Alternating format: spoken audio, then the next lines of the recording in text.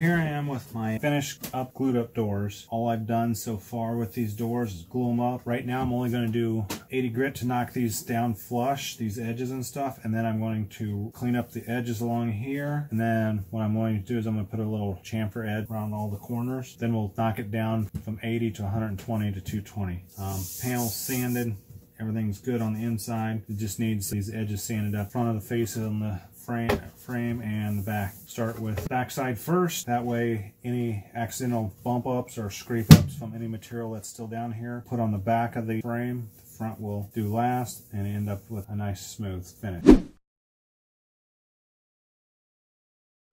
Here's my door face after sanding the, each joint. You can see right here on this joint. It's fairly nice and smooth. Continue to take the rest of them down to 80 grit. So here I've got just a scraper. I'll scrape off the glue on the back side. I'll flip it over and then I will actually do the front side. That way if there's anything that happens on the when I'm doing the front side, it only happens on the back side, which isn't going to be visible very much.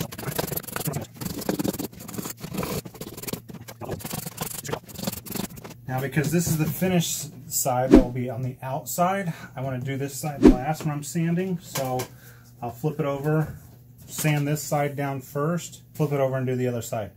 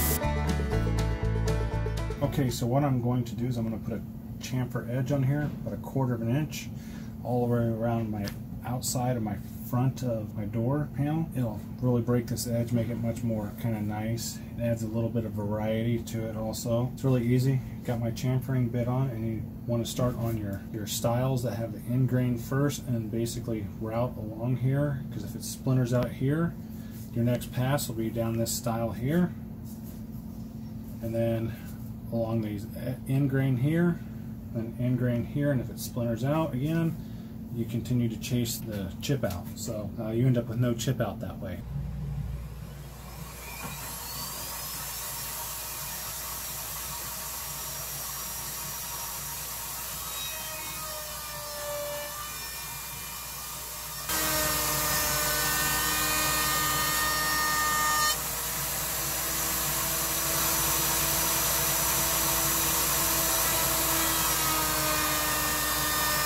Okay, now what we have here is a corner cabinet door. You only want to chamfer if you're going to put a decorative edge, like a chamfer or so, on the outside of the fold. So the way these doors work is you have two doors that go together and bisect each other just like this. You don't want to actually put a decorative edge where these two doors meet right here because it just won't look right. So what you want to do is you want to do the decorative edge here, here, here if you're actually routing the edge. Now if you're doing like some sort of inset route along here, you'd probably want to go ahead and do that here too just to keep it looking even.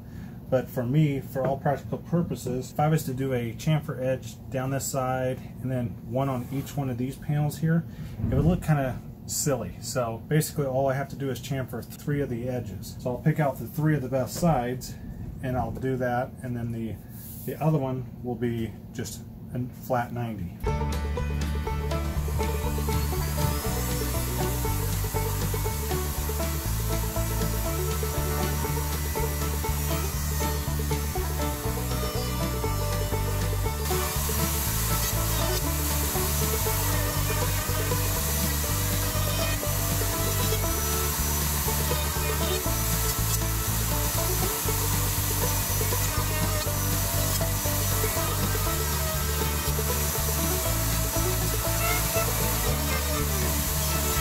Routed my three edges. And now when they go to, the doors go together, I'm just going to overlap them just so slight so I don't have to hold it.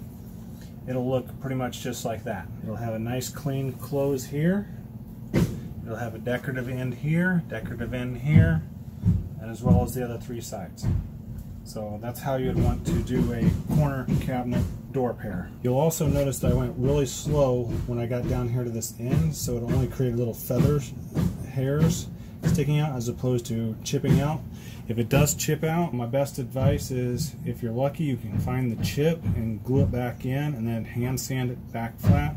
If not, you could possibly put uh, some wood filler in or another piece of wood or even mix up some glue with some sawdust and fill it back in. For me, these are going to be painted. The underlying substrate, uh, whether it's wood or wood filler or something else that's not pretty if it's not stained, looks okay. As well as if you notice here, my panel goes side to side, the grain pattern does, as opposed to up and down, which if I was going to stain or just clear finish this, I would have the grain pattern going up and down as opposed to side to side.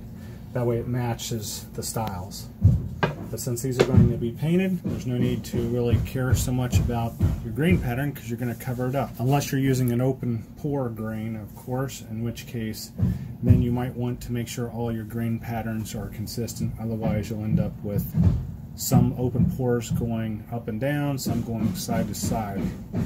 The alternative to that is you're using an open grain wood, is using some sort of pore filler that will fill in all the pores. So in order to drill my holes for my hinges, I'm using the Blum cupped Blumotion hinges. They're the compact Blumotion hinges. What I need to do is I need to drill a 35 millimeter hole and then two pilot holes. Kreg makes a great jig for that. It's the Kreg Concealed Jig Kit. It comes with a 35 millimeter Forstner bit and basically you take and you affix this into your drill, lock it down in here like this, and then you drill out your hole and it has great little measuring guides along here so you can place. At least for mine, you need a 16th inch pilot hole bit for drilling in here. I have a piece of tape here marked at 7 eighths of an inch away from the tip. That is to prevent it from going through. It's depth of the screws plus the half inch depth of the, the jig itself. The hinges itself call for a three millimeter distance between here and the edge. So these have cams on it that you can adjust to the right millimeters just by turning them. And then when you push them up against the frame, it has the correct spacing. Now, when dealing with hinges, you should always make sure that your hinges are compatible with the jig because not all the holes may be the same. In the case of my Blum compact hinges, they do line up perfectly in here. I've used this before to drill other holes and it works pretty great. You basically just need to follow the directions for assembly and usage on the jig and it works wonders. If you want to see me tune all that in, tune into my other video that is basically using this jig and how to use it. So my hinges came with the two screws for the hinge itself and then the truss screw to go into the face frame. This screw, since it's a larger screw, requires an eighth inch pilot hole as opposed to the hinge screws that only require a 16th inch pilot screw. What I like to do first is I like to pre-drill all these holes into my doors prior to painting or staining them because what happens is when you're moving stuff around you might scuff up your paint, you might scuff up some your stain or your finish or whatever. In the case of this, what you're supposed to do is wherever you decide you're going to position it, I'm going to actually put mine at three and a half inches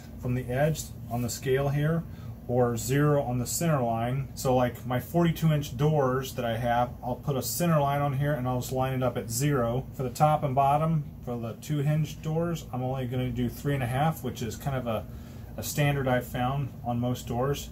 So I'll do that and you're supposed to use a clamp here and a clamp here to make sure this doesn't slip. You wanna make sure this is pushed firmly up against these cams so that you get the right distance from the edge of your frame. So I'm gonna get drilling on this particular door here. It's going to not take too overly long. Once I do that, then you know this door will essentially be ready for finish sanding and then painting.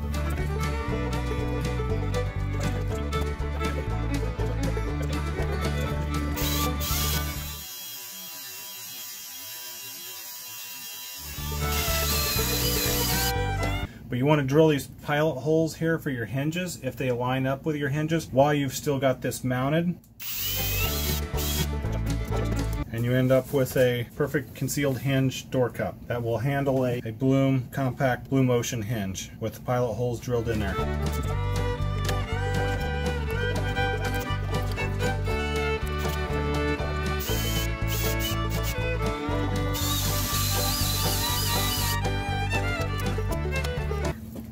Two holes. So I've got all my holes drilled out on all my doors. This is a three hole, three hinge door, as you can see. Right after doing that, I took some uh, wood filler and I filled in any, any imperfections anywhere I found them. Cracks in the where the uh, butt joints didn't fully seal in, where the where the railing style where there's a little gap any place on the backs, fronts, any place where there was imperfections. My next step for the doors is simply sanding them down. So you can see this huge stack of 42 inch doors for the uh, cabinet. All the doors have this nice chamfer edge around them. So everything's coming together pretty good and we're moving on forward. So for anyone that's curious, this is the pile of concealed hinge drillings. All these wood chips, as you can see, they, they look like if you have a old hand style pencil sharpener, one that you put in your hand and twist the pencil in. That's what they look like. Um, this pile started out five inches deep and about uh, a little bit smaller than that, but uh, yeah, it's it, there's a lot of shavings there from all these doors. 26 doors, about half of them three hinge, the other half two hinge. So, thanks for watching, and don't forget to subscribe for more videos.